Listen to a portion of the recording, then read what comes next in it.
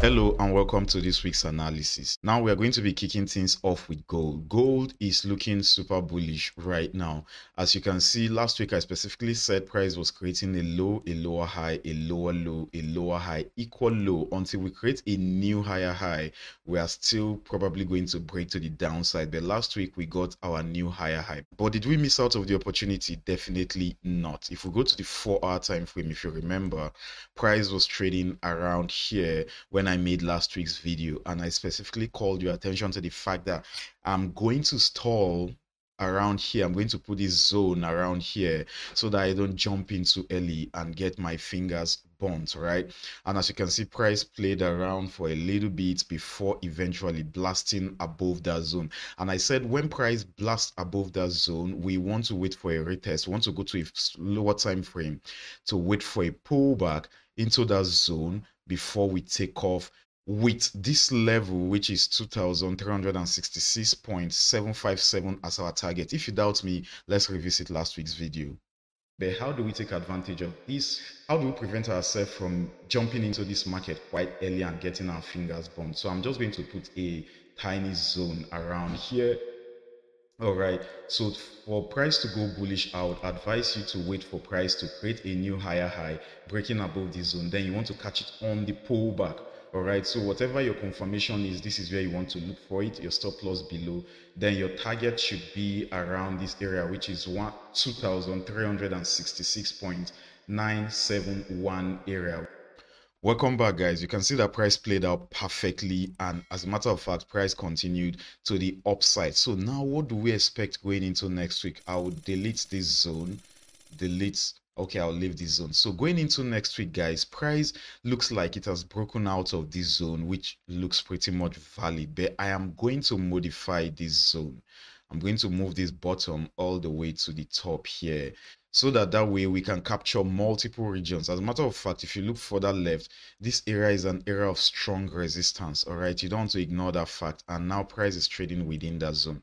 Now going into next week, don't get me wrong. I'm still, um, my play will be to see price take out this zone, come back for the retest. I mean, this zone is around the 2393 area.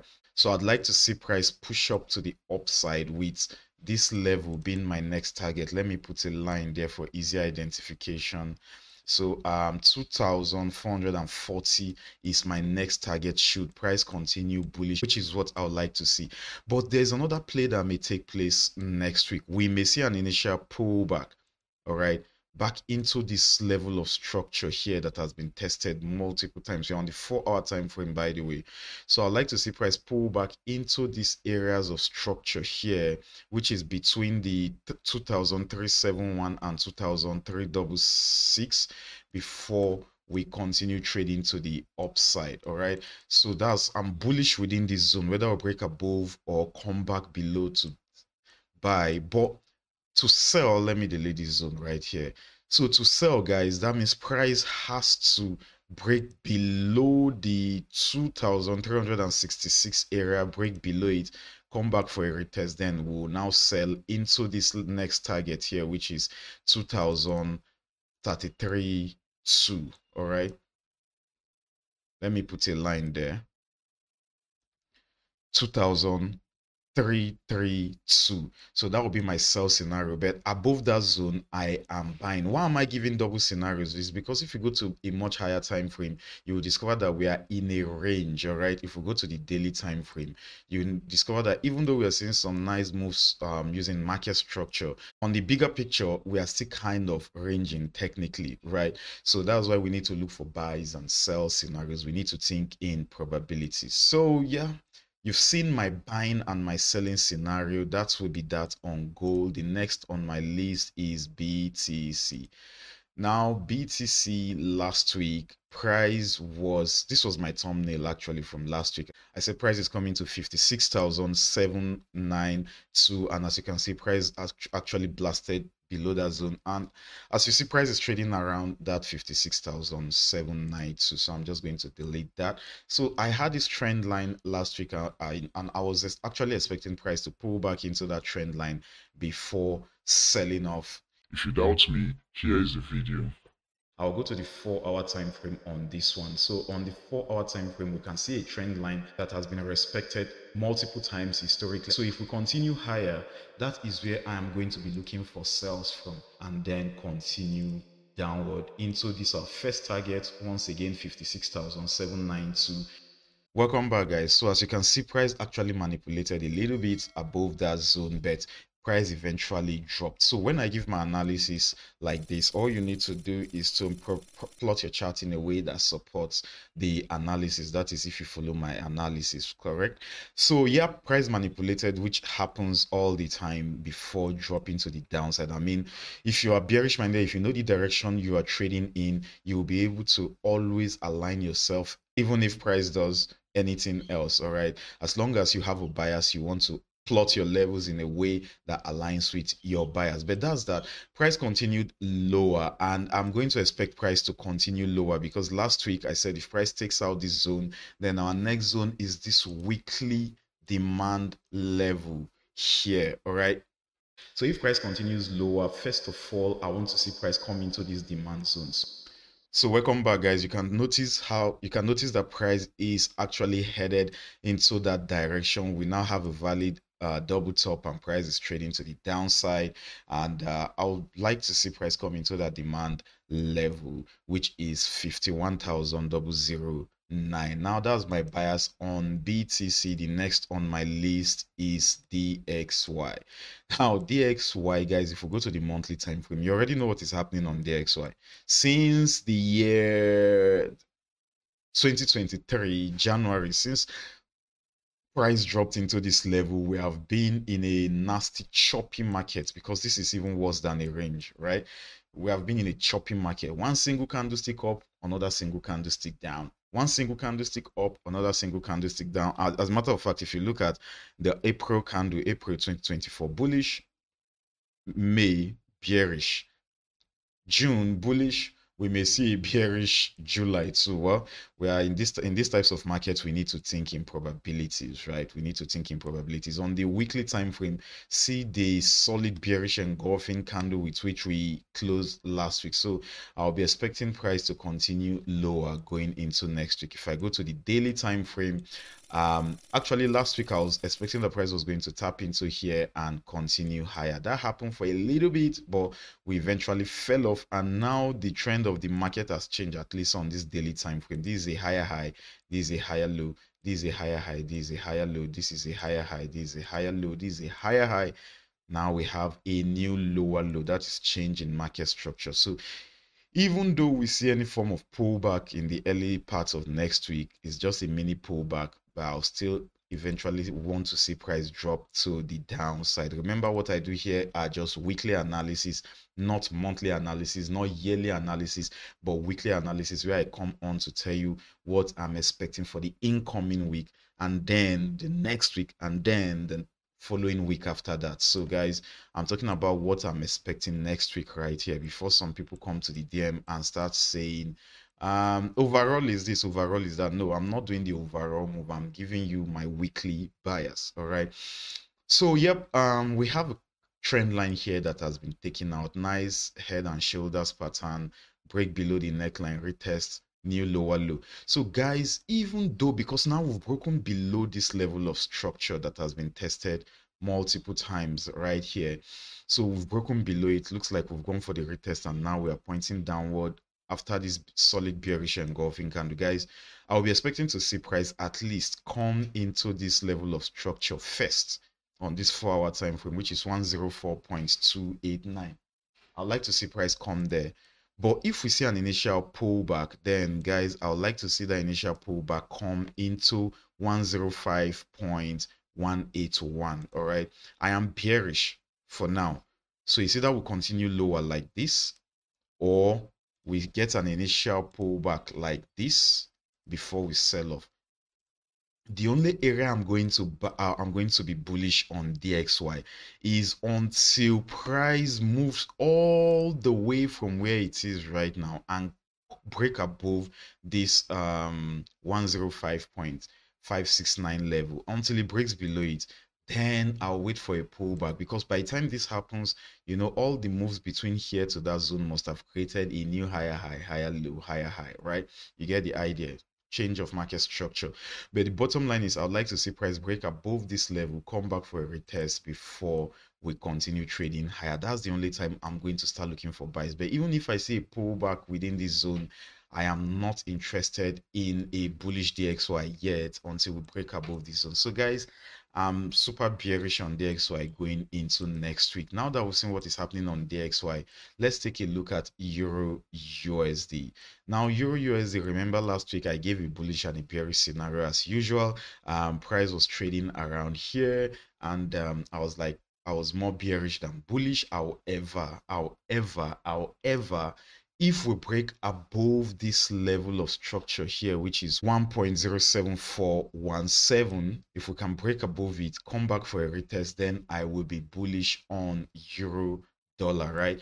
If you doubt me see for yourself. Before i decide that okay i want to buy i would like to see price take out this trend line and break above this zone. Then I'll wait for a pullback. I want to catch a trade from here, stop loss below the trend line and below the zone then targets will be around 1.07932 welcome back guys. You can see price went with our bullish. As a matter of fact the price just gapped up at market open giving us this push to the upside. Now came back for a pullback and then we took off. Now what do we expect going into next week? This is a tricky one. I'll start from the weekly time frame guys.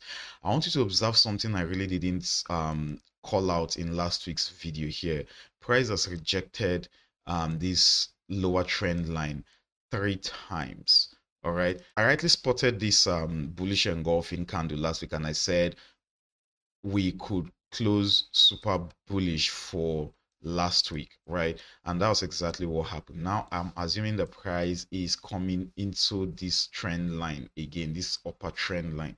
All right. Technically, price, obviously, let me even say, obviously, price is in a triangle. All right. We could keep bouncing between this zone or break above or break below. Let's see.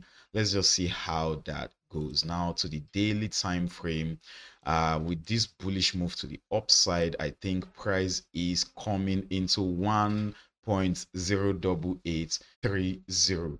All right but going to the four hour time frame also i want you to observe the price. I want you to take note that price is trading at a strong um, resistance level on the four hour time frame though. You can see this rejection here you can see this rejection here you can see this rejection here and here and now price is trading back there. All right so what does that mean? What does that tell you? Um i would like to see two things. Just like what i did on dxy i'd like to either see price break above this zone then switch to a much lower time frame like the 15 minutes time frame wait for the pullback then trade into this target here which is once again 1.08830 all right that's what I'd like to see. Or price may decide to come for a pullback like this into this region 1.08058 before we take off to the upside because I am more bullish than bearish on euro dollar. However, my selling zone will be until price takes out this 1.07924 area break below it come back for a retest switch to a much lower time frame come back for a retest and then we trade into this target here which is 1.07417. so those are my bullish and bearish scenarios on euro usd next on my list is gbp usd so gbp usd last week also i gave a bearish and bullish scenario. My bearish scenario was surprised to retest this zone and sell off. Actually my target was here but remember, you necessarily don't need to hold to your overall target because you're for me, like for me, I like two to ones, three to ones, and all of that, right?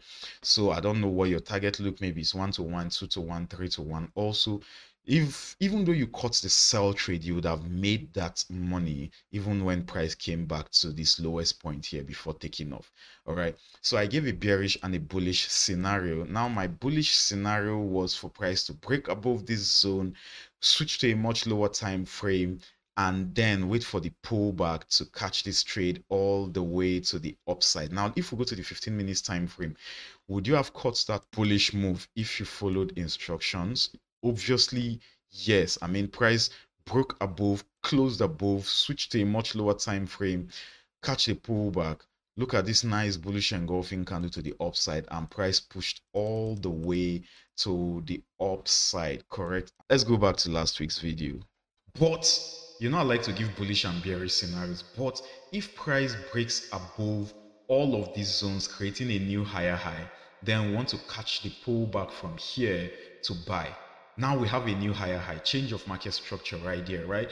Then our stop loss will be below, then our target will be um, maybe a decent 2 to 1, 3 to 1.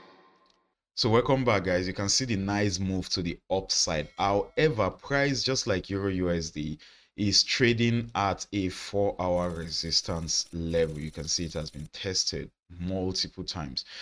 Don't get me wrong, I'm expecting price. I would like to see price come into 1.28 double five six but this guy is standing in the way and we need to be patient for it to be taken out right take it out switch to a much lower time frame like the 15 minutes time frame catch an entry around here then our target will be this zone here which is 1.28556 all right or price may decide to pull back. If we go to a much lower time frame let's go to the 15 minutes time frame. Or price could decide to pull back into this area tap into this lower trend line that is coming all the way from the downside all right so tap into this trend line and then take off to the upside.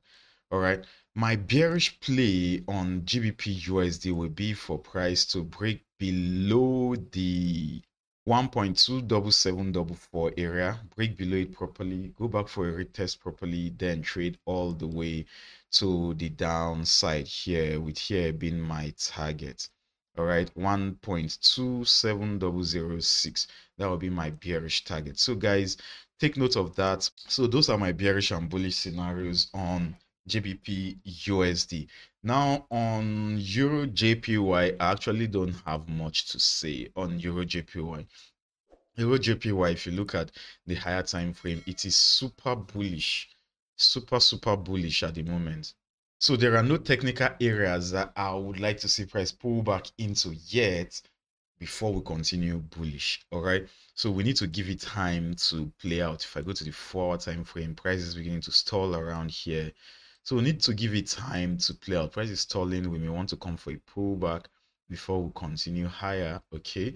Okay, let me go to the 15 minutes time frame on Euro JPY. So on the 15 minutes time frame, since on the four hour time frame I could see that we are stalling right? If price can come into this zone, break below, if price can break below the 173.559 area, then I would like to see a brief pullback.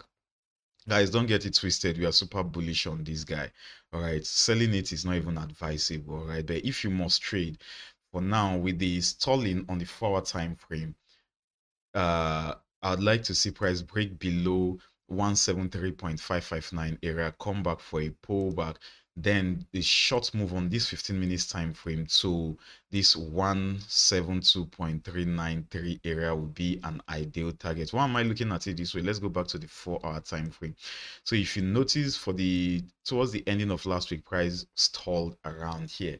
So you see that we continue pushing to the upside which is which is what is most likely going to happen. I mean we are in a complete bullish trend but if price decides that okay, it's time to go for a pullback, then I'd like to see price break below that 173.559 area that I pointed out on the 15 minutes time frame.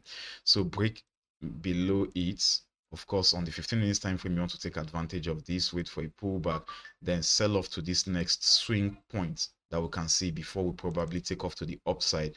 Or maybe price will just come for a deeper pullback before we take off to the upside. But i'll come here week in week out to update us about the next line of action.